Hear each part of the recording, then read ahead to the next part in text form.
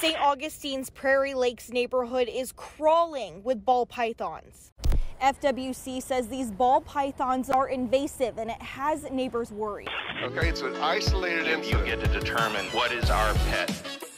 Snakes, a lizard, and a crocodile were removed from a home in Beaver County, Pennsylvania. My lord, a snapping turtle. Wow.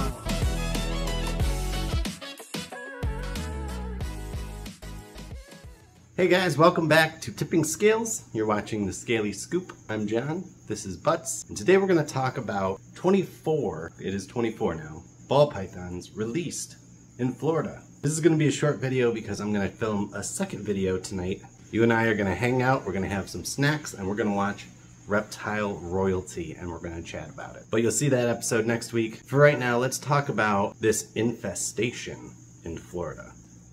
So it's hit the news that 22 ball pythons were found in St. Augustine, Florida in a neighborhood. They were found in the street, they were found under car hoods.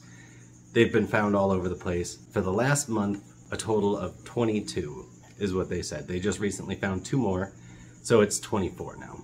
How many times have we heard about this? Not a lot, right? Not for ball pythons anyway. Isn't it interesting that this same month, on July 4th, another group of ball pythons was found in Pennsylvania, in a park just outside of Pittsburgh. This unexpected visitor was found slithering through a North Hills Park, and now police are trying to figure out how it got there.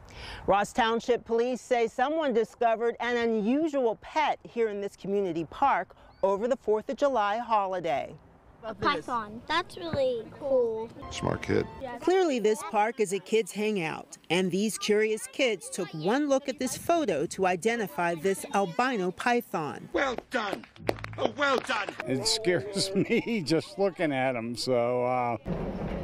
Let's clear up some misconceptions, as I like to do on this channel, about what's going on in Florida first, and then we'll go back to Pittsburgh and we're going to look at the grand scheme of all of this. So, one thing I've heard is that these 24 ball pythons that were found in Florida are now in the hands of the FWC, and that's just not true. Oh. They were taken to the Jacksonville Herpetological Society and then taken to a vet, and they're being rehomed. So, don't worry about those snakes in particular because they're going to be okay. They were all very healthy when they were found, and it sounds like they actually have a future. So that's really good news. Despite that good news, isn't it odd that we're getting multiple reports from July of a group of ball pythons being found? FWC says these ball pythons most likely escaped or were someone's pet that was dumped here in the neighborhood. They say they are invasive and it has neighbors worried. And this is number 22 that we have found in a matter of four weeks. St. Augustine's Prairie Lakes neighborhood is crawling with ball pythons. We found them out on the main road a couple times, people under hood of a car down in the cul-de-sac, and they're crossing the road. So people are stopping to try to not run them over. Vincent Myers says most are about three to four feet long, and he's caught about 15 of them. Got an old paint roller on a grade stick with some tape.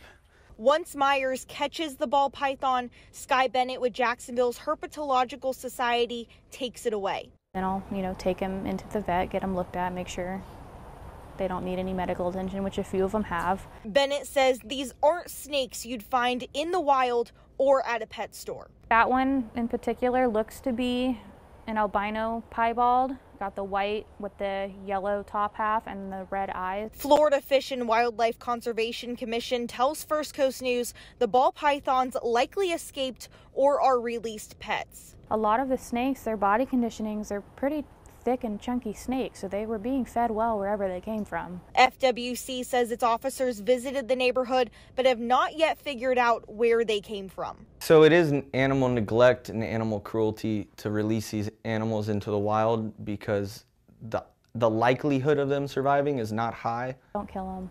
Call somebody who can grab them. Um, their lives matter just as much. Just because they're a little bit scary doesn't mean that they don't deserve to live. FWC says if you have a non-native species, do not let it loose. And if you come across one, to report it to its invasive species hotline. In St. Augustine, Taylor Levesque, First Coast News, on your side. Now, I have a major gripe what FWC is putting out about this incident. They're using the language invasive to describe a ball python, an animal that does not have any established breeding population in the state. So just taking that buzzword and labeling everything that they don't want there with it. There is no invasive ball python in Florida. There is no invasive ball python anywhere in the United States. Studies actually show that ball pythons cannot survive where they were found in Florida and it would be highly unlikely that they would even be able to survive down in the Everglades. So what's the point of labeling them as invasive? What's the point of these scare tactics? What's the point of this news report? Now, I'm not a conspiracy theorist. I like to do some deep dives into some weird stuff like cryptozoology and aliens and stuff like that for fun, but I'm not a conspiracy theorist. So when I say this, take it with a grain of salt. I'm not trying to say that this is what's happening. I'm just saying this is interesting and I'd love to know your thoughts on it. The timing of this is kind of weird, isn't it? Right on the heels of the Lacey Act, which proposes a whitelist ban on interstate travel, as well as puts the definition of what is an injurious species into the hands of the FWC. Check out this clip from Phil Goss that USARK put out before all of this ball pythons found stuff came out. So they could literally list an animal as injurious, a species as injurious. The next day, it would be illegal to move it across state lines. So, if they listed ball pythons, for example, the next day it could be illegal to transport your ball pythons across state lines for any reason. So, obviously, that would have a major impact on commerce. But again, even pet owners. So, obviously, this news helps the Lacey Act, doesn't help keepers whoever released these animals, because somebody did release them. This is clearly a collection. There were multiple albinos, multiple albino pieds. There was a blue-eyed leucistic, it looked like, and who knows how many morphs. These are not animals that are reproducing in the wild or a handful of animals that escaped. This is a whole collection in both the Pennsylvania case and the Florida case. So I've heard some conspiracies going around that maybe somebody who's trying to make the industry look bad intentionally released these animals. Is it possible? I don't see why it's not possible. There's no evidence of it. We aren't going to see evidence of it. In fact, I would be surprised if we found out who released these animals at all. But it is awfully strange, isn't it? And it's super unfortunate because when you go to the comments section of these news reports and the people that are sharing them on Facebook, it's fueling the fire of fear. And people are starting to call ball pythons invasive to Florida. All it takes is FWC issuing a statement like that, a false statement like that, and all the retirees in Florida are like, oh my gosh, what are we gonna do? what are we gonna do? Well, I'll tell you one thing we can do. We can write to Senator Rubio. You can go to the Don't Blacklist Pets website, which I listed in another video, and I will list again in the description here. I will also leave the information of everybody you can contact to speak out against the Lacey Act amendments.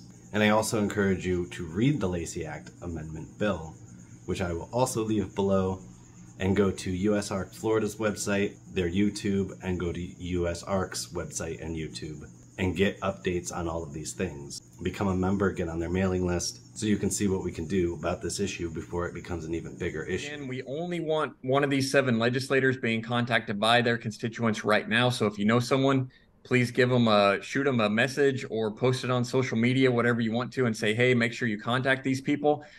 Not right now, but there will be a time when USARK is going to ask everybody to start contacting their federal representatives, but that time is not right now. We only want to focus on these seven sponsors and co-sponsors of these two bills and that's the only people that we want you emailing or calling or faxing letters to at this time uh, but follow us and we will let you know when we want everybody to start sending those letters So I'm going to keep this short. What do you guys think? Do you think this is an animal activist group releasing animals to help push the Lacey Act through? Do you think this is a breeder that just couldn't take care of his animals and instead of selling them even at wholesale value and making thousand bucks or more decided just to release them into the wild there are other options somebody could have passed away and their family didn't know what to do with the snakes and released them or there was some bad breakup and somebody released somebody else's animals. There are many options. What do you guys think happened here? I don't have any proof of anything that points one way or the other, but it is awfully strange, isn't it?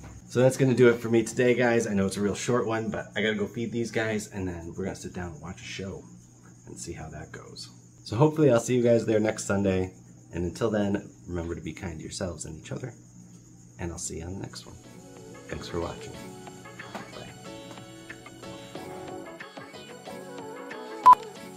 They've been taken to herp- herpetological. They've been taken to a herpetological. I don't know this is going to be one of those.